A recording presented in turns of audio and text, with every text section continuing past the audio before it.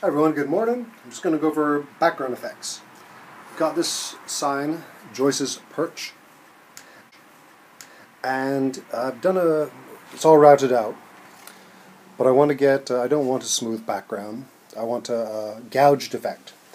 I, with pine I don't like to really do smooth backgrounds because it's so chippy, it's, it takes so much work I don't think it's really worth it. So what I'm going to do is I'm going to use three chisels. I'm going to use uh, 25 mil number 5, uh, 16 mil number 5, and number 7 gouge to take out that background. Now, the trick to doing this without damaging the letters is to give yourself a cut line around the lines. I used a 60 degree V-groove and I haven't quite removed the background all the way down to the bottom of that line. That's my cut line for the gouges. I just want a real subtle effect. That way you don't have to get right up to the letter, you stop just short. Alright, so what we're going to do is a real light, gentle, sweeping motion. The biggest trick to this is to make sure your gouges are very sharp. And then you won't have any tearing or cutting. You don't want to do one long strip, you just want to do lots of little ones.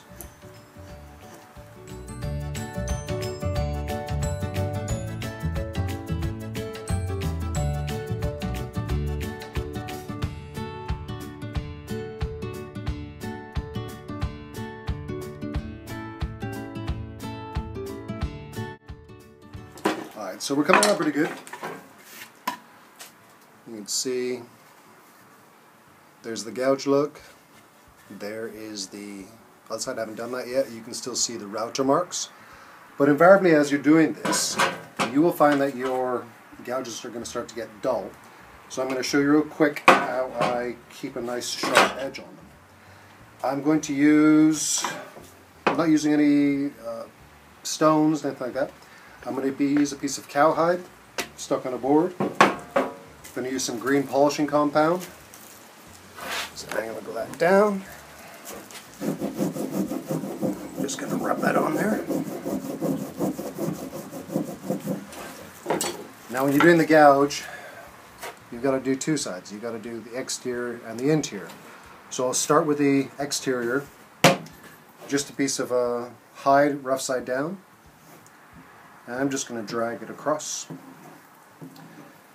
I've already got a pretty good edge on this, so this won't take very long. See, as I'm doing it, I'm rotating. And I'm never pushing, I'm only pulling. Alright, so getting the outside done, nice polished edge. Now for the inside, I don't have slipstones. What I use is 2000, 3000 grit uh, wet dry paper. Roll it into a little tube. I force the tube to match the inside. And I just give it a few rubs. as you're polishing, as I'm stropping it this way, I'm building up a lip coming that way. So what I'm using the sandpaper for is to push that lip back the other way.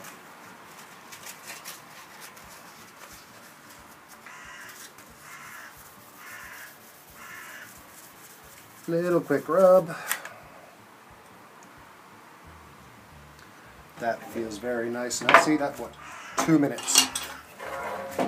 And I am ready to go again.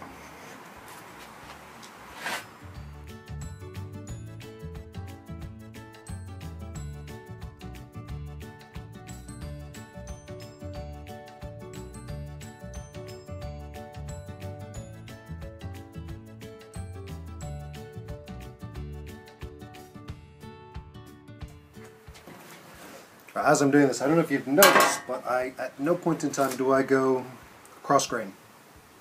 If I go cross grain, I tend to get, uh, especially on pine, I get tear out. uh, it leaves quite a nasty background. So I'm only either going to go, always going to go with the grain. But what I wanted to say too, like I've got a, a few little spots here where I've gone below my cut line. So you can either take the router, and you can go over again, or you can use a uh, cutting knife. This is just a little Flexcut carving knife. And what I'll do is I'll just follow my pattern there, making a new cut line.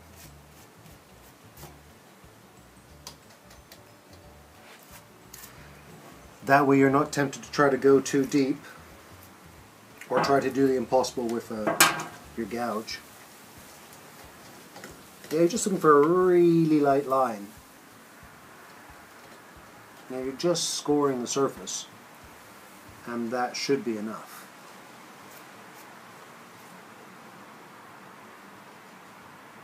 Okay, looks good.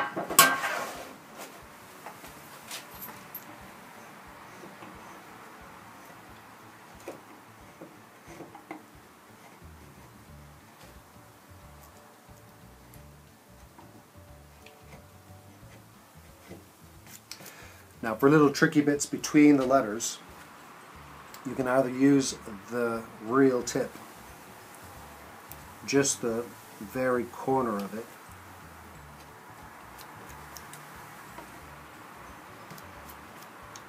or you can go back and you can use a knife.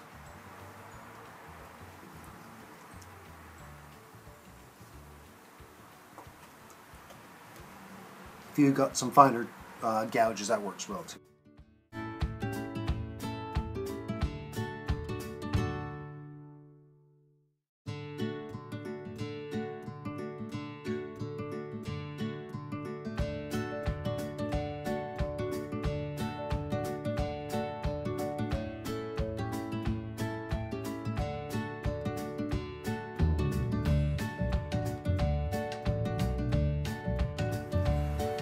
Okay, so that's the whole background of the sign pretty much done. Now I just need to get in among the letters. And I'll use two tools. Uh, you can use a curved bent back gouge or just a little cheap cutting knife.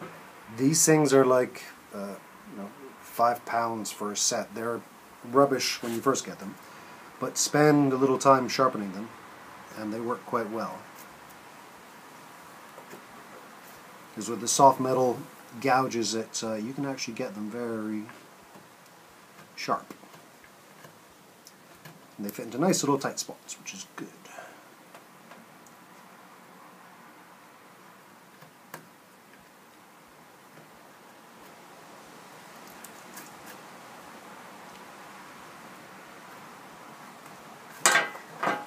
And if I use this one,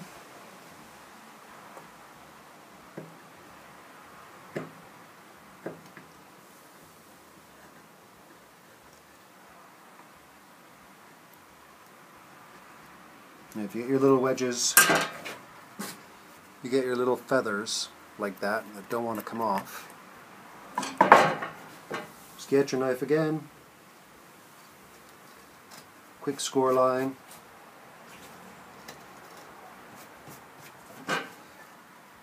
And they're all good.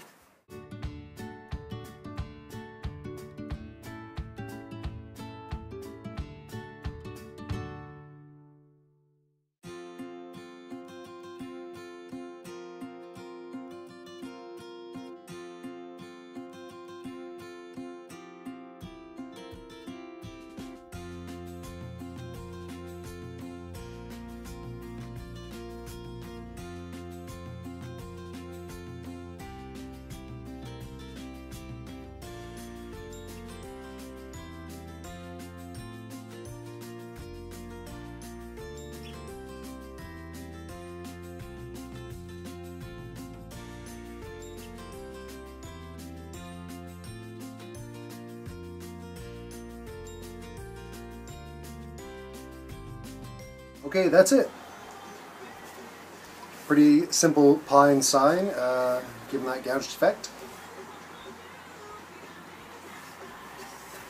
Now you don't need expensive chisels to do this or gouges to this, what you do need are just sharp ones. Um, most important thing, remember that cut line, go slowly with the chisels. So now what I'm going to do is I'm going to seal this. Uh, I'm going to paint the background black and deliver. We're all done. Hope you guys enjoyed that. Hope you liked it uh, and that it was helpful. Thanks for watching.